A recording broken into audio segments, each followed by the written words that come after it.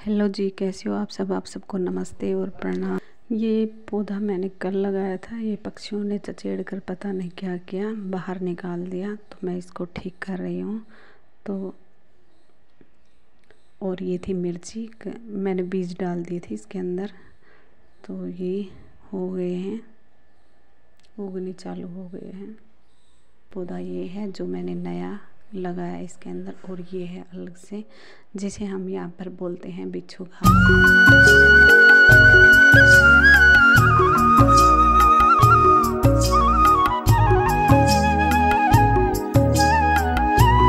तो इससे पहले वाली वीडियो डाली थी, उससे, उस दिन ही लगाया था ये। तो तीन पौधे हैं, तीनों में ग्रोथ होनी शुरू हो गई है, पत्तियाँ निकल आई है और ये मैंने छोटी छोटी टहनी करके ही लगाई थी। एक एक डेढ़ इंच की ही टहनी लगाई थी मैंने ये। देख सकते हैं तो इनकी ग्रोथ होनी चालू हो गई है और इससे पहले मैंने आपको वहाँ पर दिखाया, वहाँ भी आज ही लगाया है वो पौधा।